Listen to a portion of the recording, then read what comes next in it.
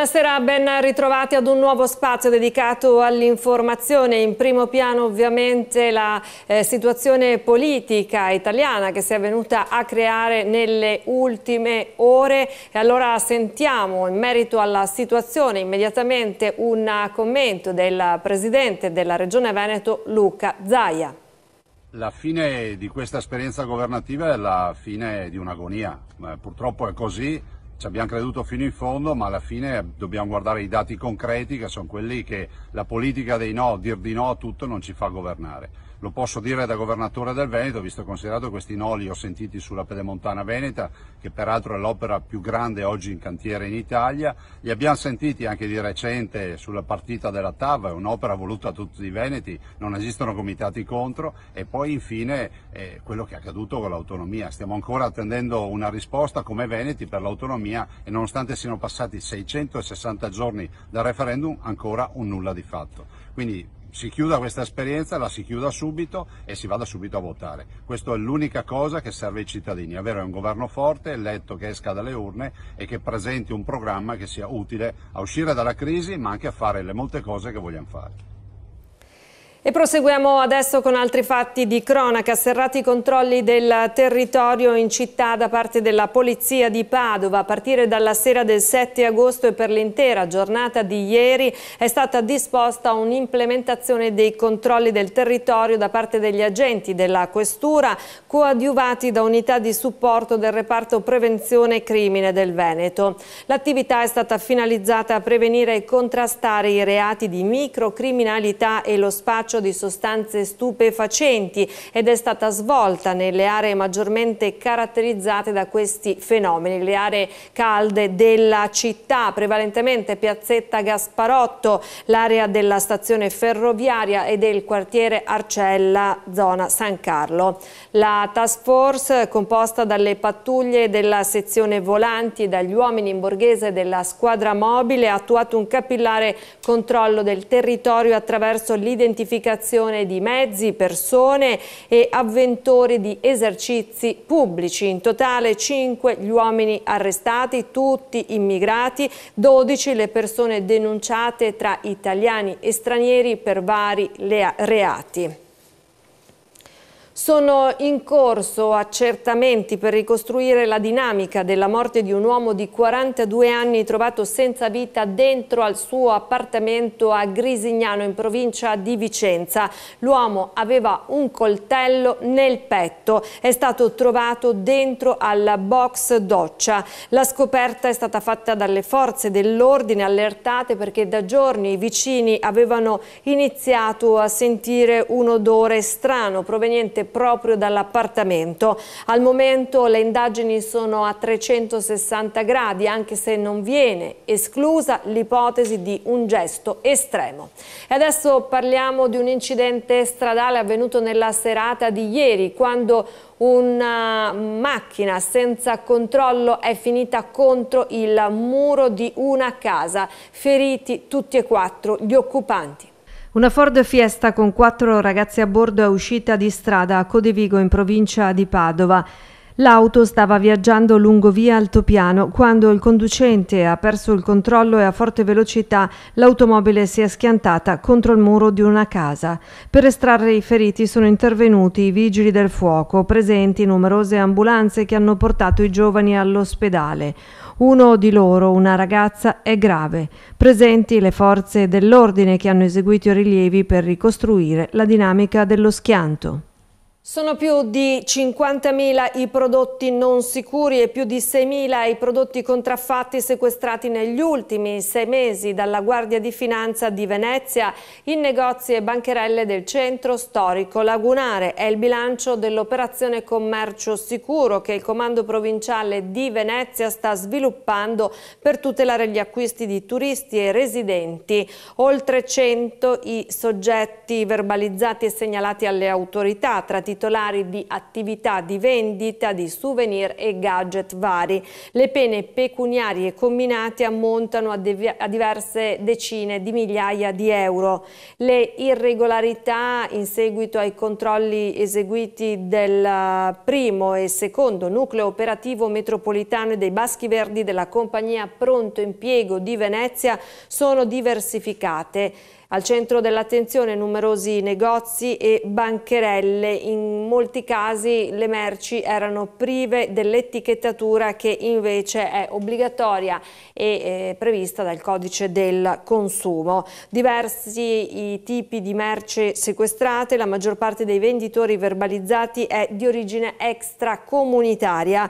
Per una maggiore tutela dei consumatori questi controlli sono stati affiancati da uno strumento importante importante lo spettrometro che è in grado di dare immediatamente delle indicazioni sull'eventuale presenza di metalli pesanti all'interno delle merci controllate.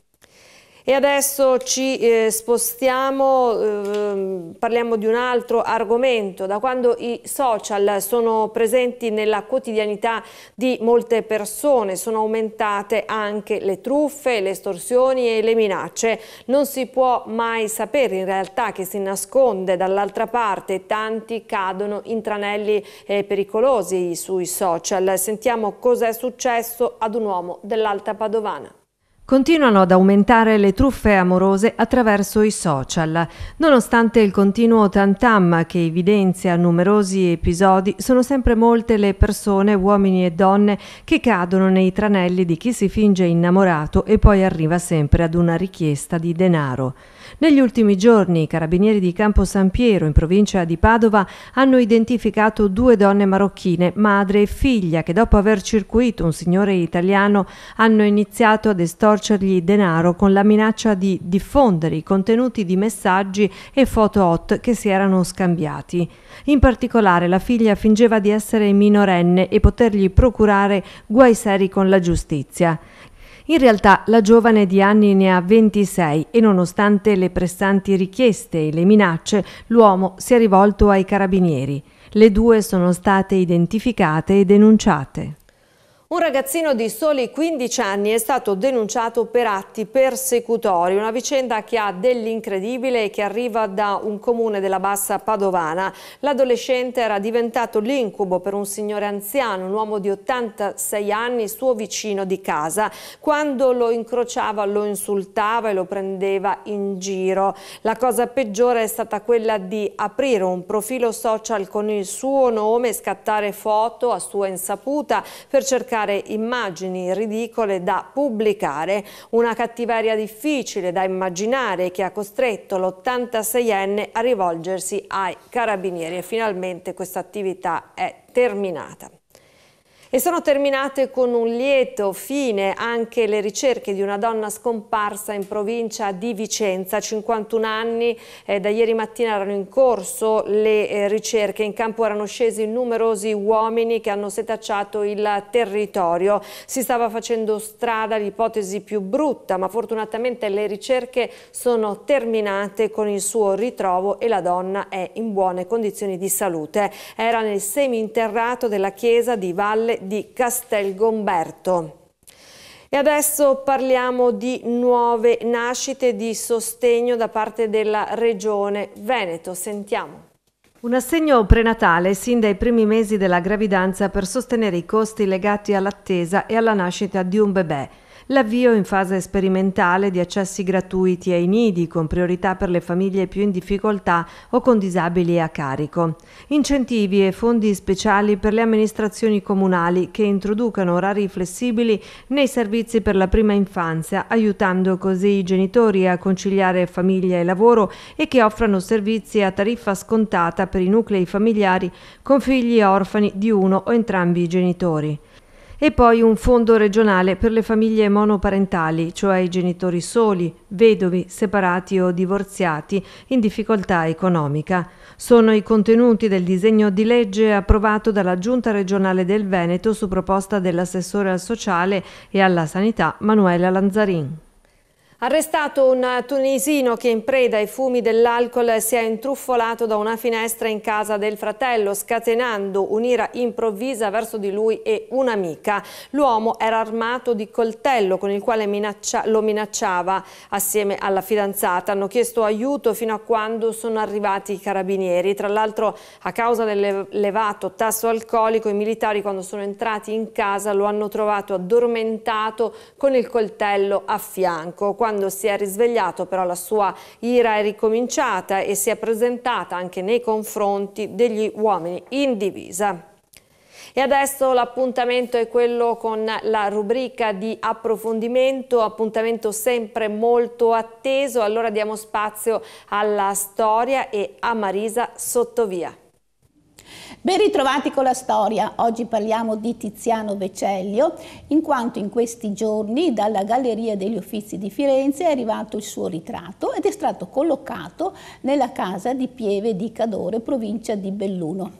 È un prestito e quindi l'opera è visitabile per pochi mesi. E allora conosciamo il grande pittore che nacque a Pieve di Cadore, eh, la data di nascita è incerta ed oscilla tra il 1485 e il 1490. Era di famiglia benestante. Eh, lui ha avuto la fortuna di dedicarsi alla pittura per più di 60 anni. E all'età di 10 anni manifestò il suo talento eh, con un dipinto eh, nel muro di casa.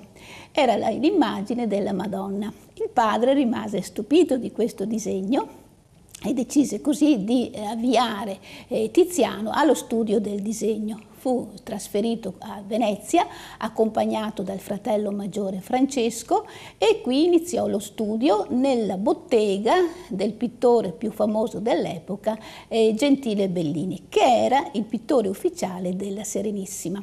E a poco a poco si inserì nella città di elevato tenore culturale e qui incontrò i grandi pittori del suo tempo, eh, Vittor Carpaccio, Cima da Conegliano, Lorenzo Lotto, Sebastiano del Piombo e molti altri. Conobbe anche il Giorgione, con il quale ebbe un rapporto artistico molto stretto e con lui dipinse eh, le facciate del Fondaco dei tedeschi. Giorgione dipinse la facciata verso il Canal Grande, mentre Tiziano quella verso le mercerie.